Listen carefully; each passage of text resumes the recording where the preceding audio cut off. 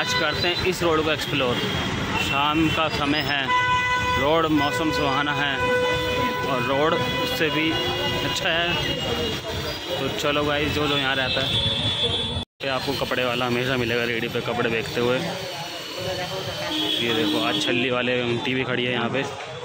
छल्ली बेचती हुई। और ये चलो सीधे सीधे आप चलते रहोगे चलते रहोगे। ये चाय की टपरी है। ये है एक नंबर गली। बंदे देखो चमकान दे दे के जाते हैं। तो ये है अपना आरती पैलेस। और सीधे सीधे आप चलोगे ना धीरे धीरे तो आपको यहाँ पे एक छोटा सा मंदिर दिखेगा।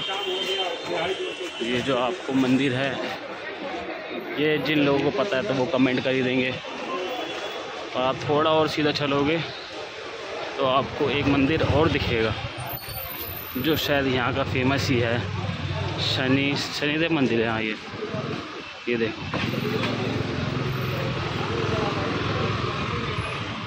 ये अपना है शनिदेव मंदिर।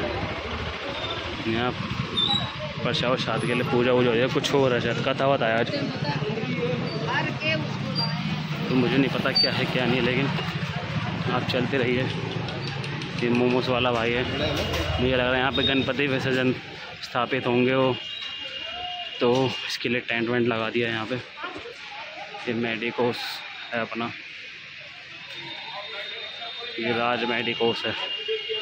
दवाइयाँ लीजिए। चाहे शायद किसी को ज़रूरत ना पड़े यार, भगवान करे बस दवाइयों की। The burger time. अच्छा। ये बेकरी वाला भी ठीक है बंदा ये। यूएस केक है ये यूएस से आया है बंदा, यहाँ पे केक बेचने तो आप धीरे धीरे और चलते रहोगे और चलते रहो, और चलते रहोगे। तो ये वाटर टैंक है यहाँ पे। ये देखिए अंदर ही। ये चिकन की शॉप है। बस मेरा फ़ोन बच के रहे यहाँ पे।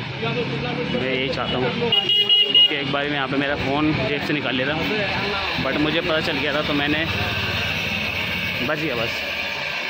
ये सबसे फ़ेमस जगह है यहाँ की वाइट हाउस यहाँ पे दुनिया में कहीं भी चले, आप बोलोगे ना मुल्तान इंडा वाइट हाउस सौ रुपये पहचान जाएगा। और ये है ठेका। जो पीना चाहता है वो पी सकता है, हम तो पीते नहीं है। वाइट हाउस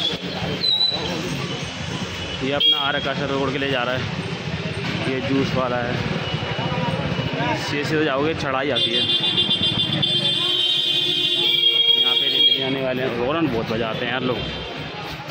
ये बिरयानी वाले हैं भाई अपने। सामने चढ़ाई है और यहीं पे हम ख़त्म करते हैं ब्लॉग को, क्योंकि मुझे यहाँ मुड़ना है गली के अंदर। तो बाय बाय जो बंदे को जो समझ में आया।